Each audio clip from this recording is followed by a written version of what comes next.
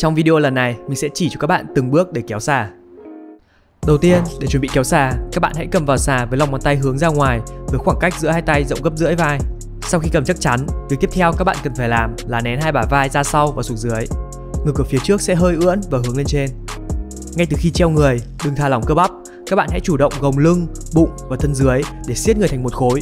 Tư thế này gọi là active dead hang, có nghĩa là treo người chủ động. Tiếp theo khi kéo, hãy tưởng tượng là mình đang kéo hai cùi trỏ ra sau và gần lại nhau.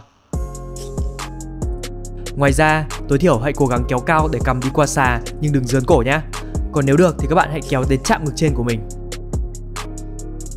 Khi xuống duỗi tay nhưng đừng thả lỏng hết cơ bắp, hãy về tư thế treo người chủ động, như vậy là được một rep.